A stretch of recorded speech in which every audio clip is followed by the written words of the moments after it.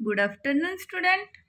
Student, in the last lesson we will learn word buildings. म्हणजेच विद्यार्थ्यांनो आपण मागील व्हिडिओमध्ये शब्दरचना ही कशा पद्धतीने केली जाते हे या ब्लॉग्समध्ये जे स्पेलिंग्स दिलेले आहेत त्यापासून आपण विविध अक्षरे वापरून शब्द कशा पद्धतीने बनवता येतात हे आपण मागील व्हिडिओमध्ये शिकलो होतो आलं लक्षात पेज नंबर फोर्टी नाईनचा आपण अभ्यास मागील व्हिडिओमध्ये केलेला होता. चला तर विद्यार्थ्यांनो आज आपण ज्या घटकाचा अभ्यास करणार आहोत त्याचे ना त्याचे नाव आहे अ गार्डन ऑफ वर्ड्स. म्हणजेच काय? तर शब्दांची बाग. चला विद्यार्थ्यांनो आपण बघा हे जे बुक आहे आपले इंग्लिशचे त्यामध्ये आपण युनिट वन युनिट टू आणि युनिट थ्री तिघी युनिटमध्ये शब्दांची बाग बघितली होती. बघा त्यामध्ये जे नवीन नवीन शब्द दिलेले असतात त्याचे जे स्पेलिंग्स आपल्याला पाठांतरही करायचे असतात पाठांतर केल्यानंतर जे पुढचे लेसन असतात त्यामध्ये ते शब्द आलेले असतात.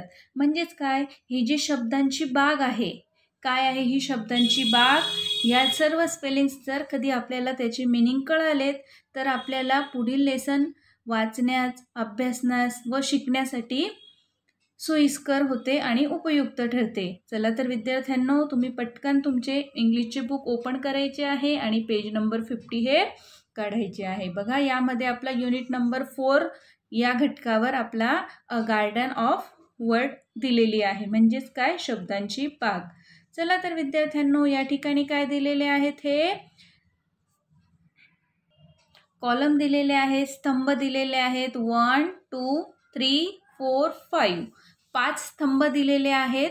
आणि बघा विद्यार्थ्यांनो यामध्येच टोटल सर्व स्पेलिंग्स या कशा आहेत? स्मॉल लेटरच्या दिलेल्या आहेत. आणि स्मॉल लेटरच्या असून ए टू झेडपर्यंत अशा सिक्वेन्सनुसार सर्व स्पेलिंग्स आलेल्या आहेत. बघा ए बी सी अशा पद्धतीने आलेले आहेत. चला तर मग आता आपण काय करणार आहोत? सुरुवातीला आधी याचे वाचन करणार आहोत. आणि वाचन केल्यानंतर तुम्ही देखील त्याचे उच्चार कशा पद्धतीने होतात? हे याकडे तुम्हाला पूर्णपणे लक्ष द्यायचे आहे. चला तर आधी मी बोलेल आणि मग माझ्या पाठोपाठ तुम्हाला देखील बोलायचे आहे. ऑलवेज ऑलवेज मीन्स काय? नेहमी. बिफोर पूर्वी. बेटर अधिक चांगले उत्कृष्ट. वॉट बेटर बेटर मीन्स अधिक चांगले. बाय मीन्स विकत घेणे. कॅरिंग वाहून नेणे. चर्न. चर्नचा अर्थ काय होतो विद्यार्थ्यांना? घुसळणे. घुसळणे म्हणजे बघा आपली आई किंवा आपली आई बघा घरी दही बनव आपलं तूप बनवते. तूप बनवताना जी लोणी साचलेली असते ती काय करते? घुसवते की नाही? एक रवी घेते आणि त्या एका भांड्यामध्ये ती रवीने घुसवत असते. त्याला काय बोलतात? घुसळणे असा शब्द बोलला जातो. याचा उच्चार कसा होतो विद्यार्थ्यांनो? चर्न. क्रीमी म्हणजे काय? मलईदार. डज. नेक्स्ट कॉलम बघूया विद्यार्थ्यांनो. आता आपण काय आहे? ड्रीम. ड्रीम म्हणजे काय तर? स्वप्न. Dreaming even ever flew means उडाले फ्रॉम जेंटली जेंटलीचा अर्थ काय होतो विद्यार्थ्यांना? हळुवारपणे. गेट गोल्डन गोल्डन मीन्स सोन्याचे किंवा सोनेरी. हेल्ड धरलेले. हाय मीन्स उंच. जस्ट म्हणजे केवळ किंवा थोडेसेच. नो म्हणजे माहीत असणे. लॉस्ट मेक मीन्स बनवणे. मार्केट म्हणजे बाजार. मिल्क म्हणजे दूध. मनी. पैसा. मूव मीन्स इकडून तिकडे ढकलणे किंवा सरकवणे हालचाल होणे. मच. नेक्स्ट कॉलम बघूया आता आपण.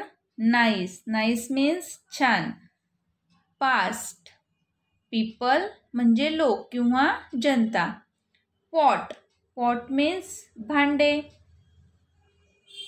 पासचा अर्थ काय होतो? च्या जवळून. पास्ट चा अर्थ होतो च्या जवळून. नेक्स्ट पीपल पॉट म्हणजे भांडे प्राईस मीन्स किंमत. रिच रिचचा मिनिंग काय होतो विद्यार्थ्यांनो? रिचचा असा मिनिंग होतो या ठिकाणी आलेला अर्थ त्याचा छान असा होतो. रोल म्हणजे गरगर गरगरवणे किंवा ढवळणे. गरगरवणे किंवा ढवळणे. सेल मीन्स विकणे. शूड शो मीन्स दाखवणे. सॉफ्ट म्हणजे मऊ किंवा मुलायम. स्पेल्ड. स्पिल्ड म्हणजे सांडले. सरप्राईज. आश्चर्य. टेस्टी म्हणजेच स्वादिष्ट. थिक. थिकचा मिनिंग काय होतो? जाड. टॉस मीन्स उडवणे. टोज. हे काय केलं टोज. ईडी प्रत्यय याला लागलेला आहे. वेट. वेट म्हणजे काय? वाट पाहणे. वेअर. वेअर मीन्स अंगात घालणे. ऑर्डर. ऑर्डर मीन्स संदेश. बघा विद्यार्थ्यांनो तुम्हाला या सर्व स्पेलिंग्स मी सांगितल्यानुसार लक्षात आल्याच असणार आणि तुम्ही देखील त्याचे उच्चार कशा पद्धतीने होते हे तुम्ही माझ्या पाठोपाठ घरी बोललेच असणार. बघा विद्यार्थ्यांनो त्यावर आधारित ही जी garden words a garden of words दिलेला आहे त्यावर आधारित या ठिकाणी काही प्रश्न दिलेले आहेत. आता मी ते तुम्हाला सांगते. बघा लिसन केअरफुली काळजीपूर्वक ऐका antic of the words in your table आता बघा विद्यार्थ्यांनो या ठिकाणी काय सांगितले आहे? हा जो टेबल दिलेला आहे तो तुम्हाला आधी वाचन करून घ्यायचा आहे. आता ज्याप्रमाणे आता आपण वाचून घेतले आहे त्याप्रमाणे. आणि त्यावर काय करायचे आहे? टिक म्हणजेच काय? बरोबरची अशी खून करायची आहे. आता फर्स्ट काय लेटर आहे आपला? बघा या ठिकाणी दिलेला आहे ऑलवेज आपलं बघा एक फर्स्ट कॉलममध्येच फर्स्ट वर्ड दिलेला आहे ऑलवेज तर तुम्हाला देखील पेन्सिलने अशा पद्धतीने टिक करून घ्यायची आहे. नंतर काय दिला आहे शब्द? चर्न. कुठे आहे बरं का? बघा घुसळणे. त्याचा मिनिंग काय होतो? घुसळवणे किंवा घुसळणे. चर्न.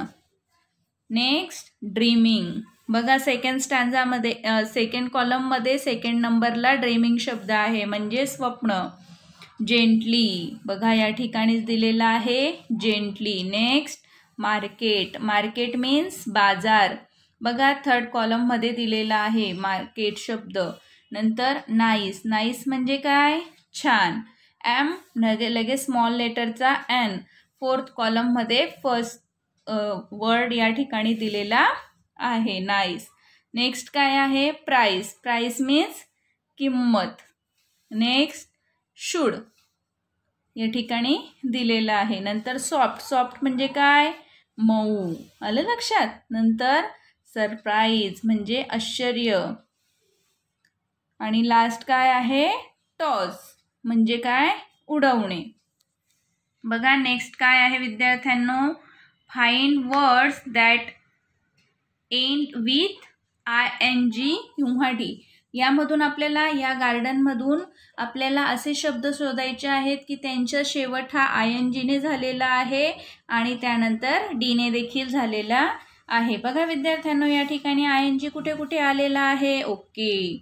ड्रीमिंग ड्रीमिंग शब्दाच्या लास्ट काय आलेला आहे? आय एन जी आणि नंतर कॅरिंग याला देखील आय एन जी शब्द आलेला आहे. बघा विद्यार्थ्यांनो डी शब्द कुठे कुठे आला आहे? बघा move roll should spilled toss held. या ठिकाणी डी हा शब्द लास्टला आलेला आहे. त्यानंतर आपला थर्ड क्वेश्चन काय आहे बघा विद्यार्थ्यांनो? You can use some of the words to give and order find the list three of them example by आता बघा विद्यार्थ्यांनो आता बायचा मिनिंग काय होतो? खरेदी करणे. आपल्याला असे वरच्या ज्या बागेमध्ये असे शब्द शोधायचे आहेत की ते आदेशानुसार सुरू होणारे शब्द आपल्याला या ठिकाणी लिहायचे आहेत. की असे काही शब्द आहेत की ते आपल्याला आदेश केला बुवा. असं त्या ठिकाणी त्या शब्दाचा मिनिंग होत असतो.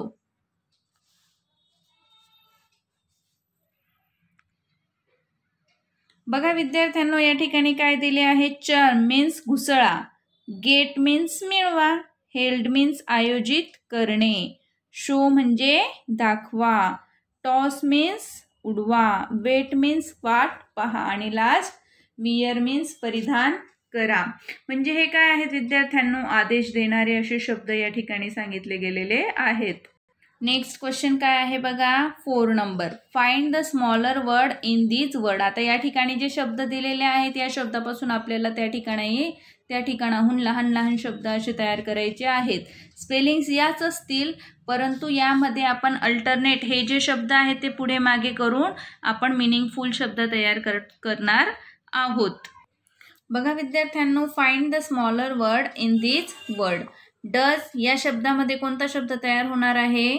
डू नंतर ड्रीमी सॉरी क्रीमी क्रीमी या शब्दापासून किती शब्द तयार झाले आहेत बघा? क्रीम ॲम माय रिम रीमचा अर्थ काय होतो?